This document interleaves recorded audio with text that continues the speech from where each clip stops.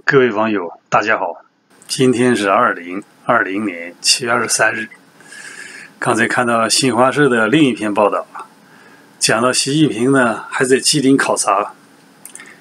刚开始呢是考察这个农业项目啊，由这个巴彦朝鲁啊，这个景俊海陪同啊。那这一次呢，又到了这个部队去视察了哈，也就在长春呢。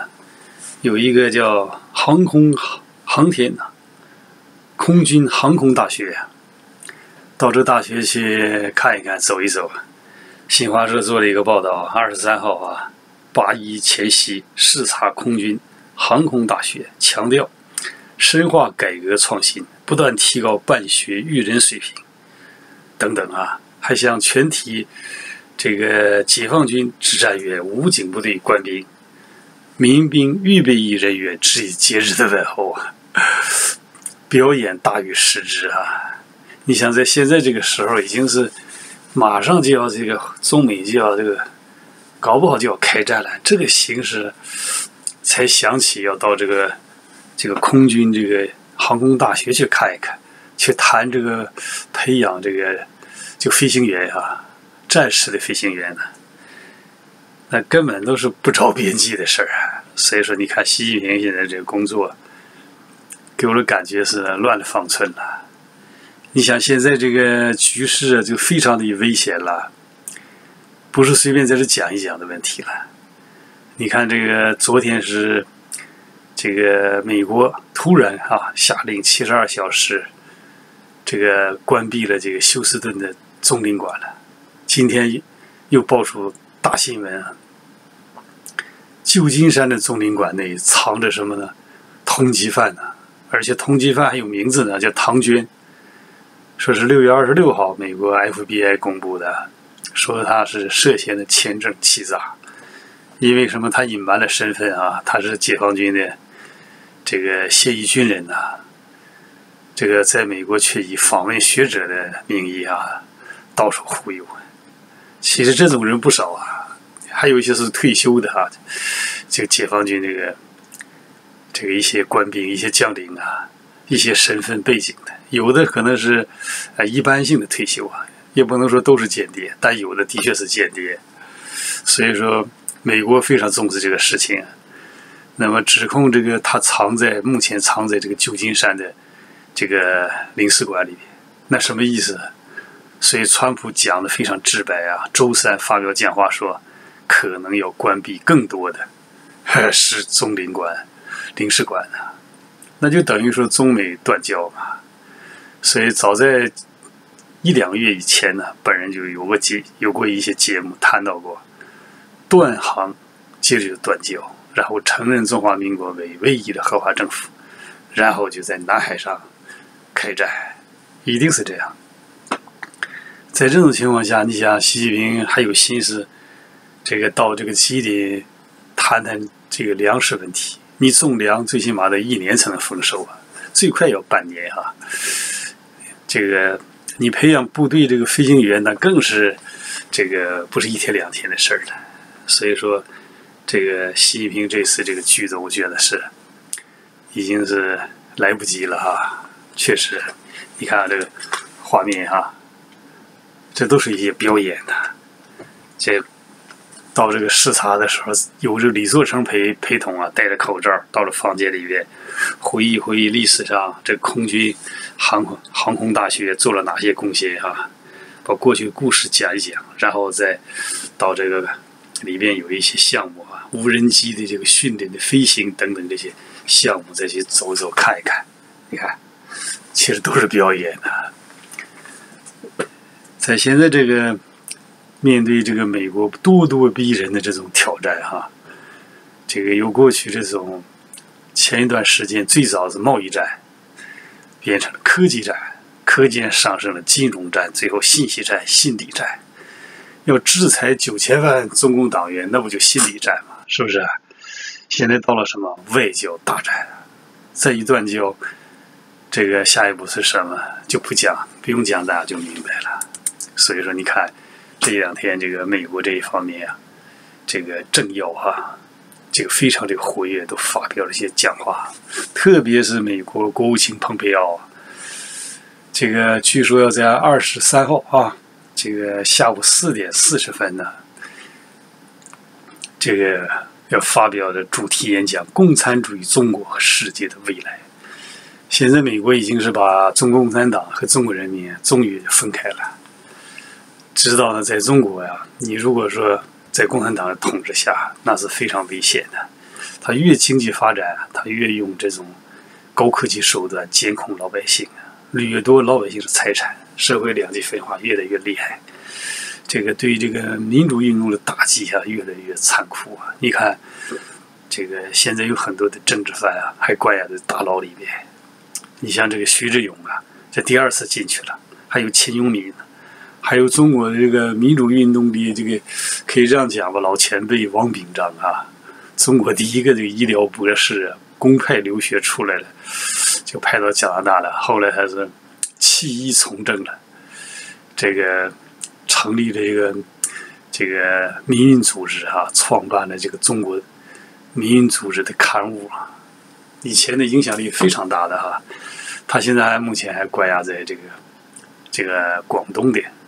一所监狱里边，此外还有秦永敏呢。秦永敏也是一个老民运啊，那也是做共产党的牢是把牢底坐穿了。此外还有这个失踪的高志生啊，还有刚刚放的这个这个七零九的律师一大批呀，就王全璋哈，这个这个江天勇啊等等啊，你想，这个还有死在这个共产党监狱里的刘晓波。你像刘晓波提出零八宪章，非常温和，和平民主非暴力，没有敌人。但你没有敌人，共产党给你当成敌人，彻底的灭掉了，这个也是非常惨的。还有主张暴力推翻共产党的彭明，也被干死干倒在这个监狱里面。这说明什么？你不论同要是和平的、理性的、非暴力的，还是暴力的，共产党要想颠覆共产党，共产党要都要狠狠的整。绝对是不留任何活口啊！所以说，共产党一路走到今天呀，和国际社会啊、文明世界的对抗，已经没有了这回旋的余地了。本人是最温和的啊，多次的鼓吹共产党应该这个早早进行政治体制改革，特别是对习近平啊本人，那真是这个苦口婆心呐好言相劝，曾经多次的提出什么呢？这个允许国民党到大陆啊建立支部，然后共产党和国民党一起这个推动和平转型啊。本人鼓吹了好几年啊，遭到了海外民营人士的嘲笑。看来嘲笑是对的啊，我这观点是实在是太，实在是太不合时宜了，不可能的。遇虎磨皮呀，磨不到皮也被虎吃掉啊。所以现在美国终于觉醒了，你看美国这个。一些政要哈，包括这个白宫安全顾问叫奥布莱奥布莱恩呐，还有联邦调查局啊局长克里斯托夫，司法部长巴尔先后发表了重磅讲话，还有前白宫战略分析师班农啊，还有班农后边的中国的这个助手这个叫郭文贵啊，这个还有现在这个港商啊，员工一啊，是不是啊？阎立梦出来这些，等等形成的合力，它就什么呢？终结中国共产党统治，这是一个大变革的时代啊！一定要实现中国人的梦想，因为你不灭掉之后啊，你想他会祸祸全世界。十几年前是 SARS 祸祸，那时候这个温家宝还能提出一点内疚的、惭愧的观点。到了习近平这个时代，他觉得这个这个。新型冠状病毒这个事情啊，他根本就是不在乎别人的死活，甚至把这个原因转嫁到美国身上，说美国怎么能不火大呀？所以没有办法了，已经走不回去了，这是他自己选择的道路啊。现在美国这个六月二十四号国家安全顾问呐，奥布莱恩在疯狂城的演讲，我认为特别特别的这个重要，特别的清醒啊。他说什么呢？美国人被动和天真的啊，对待中共的日子一去不复返了。美国人终于醒来了，确实是这样。包括我本人在内，以前都存在着幻想，说共产党能和平演变，不会的。所以说，他和国际社会的对抗走到今天是必然的哈。那么，在美国等西方国家这些这个 N 国的这个这个势力的联合下来施压下，我相信能够打败中共啊。但是，这个把中共和中国人民区分开来，这是历史性的变化哈。就是说，这个一定要是这个实现中国人的梦想呀，这个少一点付出这个代价。因为共产党现在骗中国人就什么呢？就是。你这个把中国和中国共产党困在一起，把中国人民和中国共产党困在一起，用这方面的愚弄的呀，欺骗中国的老百姓和世界各国人民，欺骗了几十年了。所以说，美国这一次这个认识非常深刻啊，认为从三十年代开始对中国就是误判了，现在终于改变这个策略了啊，的确是这样。如果早一点不误判，就没有一九八九年六四这个。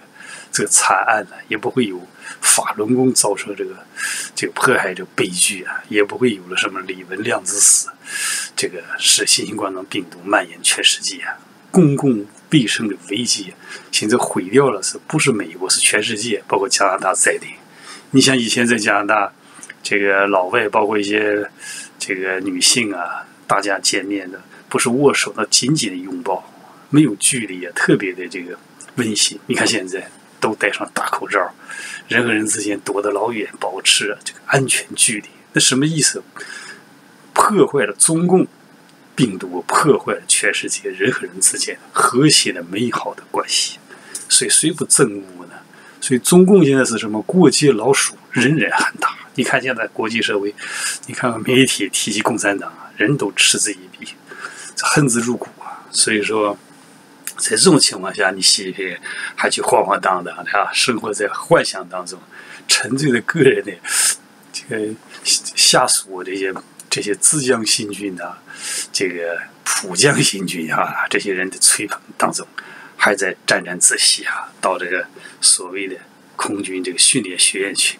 你以为美国还能给你时间让你培养下一代的飞行员？那不可能了，是不是啊？你必须现在马上应战。但你应战的时候，你看人家这个美国的这个战机，高科技含量的，那是了得的战机啊，根本都不是一个档次的，是不是？不仅还有战机卖给日本、卖给台湾、卖给大批，什么意思啊？分摊军费了。现在靠的是什么？靠的是。靠的是合力啊，围围攻堵截，这个围堵中国的一个军事的联盟现在已经形成了，所以决心是很大的，实力是非常雄厚的。加上人家的航母，核动力的航母，还有人家那个作战经验丰富的这个大兵啊，和什么呢？和高远的这种信念呢，还有人的民意基础。你想，你习近平跑到这个什么空军学院，就这么。啊，在这讲的这些空话，你看讲的什么，很有意思啊。这个全军要打牢飞行学院的思想政治、军事专业、科学，这个文化、身体、心理。你想讲这套东西有什么用啊？是不是已经无济于事了？所以说，现在整个美国国际这个反攻的势力啊。以军事实力就为基础啊，现在已经是逼近了什么？逼近了南海啊！军机，人家的军机都已经飞临了你这个靠近你广州附近了，是吧？侦察机去了好几次了，你还在这到了人家还到了空军学院去讲培养人才的问题，这个怎么能跟上现在这形势啊？怎么能和现在这种这个中美对峙这种有？冷战已经变成热战，即将变成热战，这个形势跟不上了，所以学习蒋经国吧，赶快开放党禁和报禁啊，免得十四亿中国人民遭殃啊！所以说，习近平何去何从？到了什么？到一个历史的节点呢？你是要做一代的伟人，还是亡亡国之君呢？这个就在眼前啊！那么今天的。海外奇谈节目就到此结束了，非常感谢广大网友的收看，谢谢再见。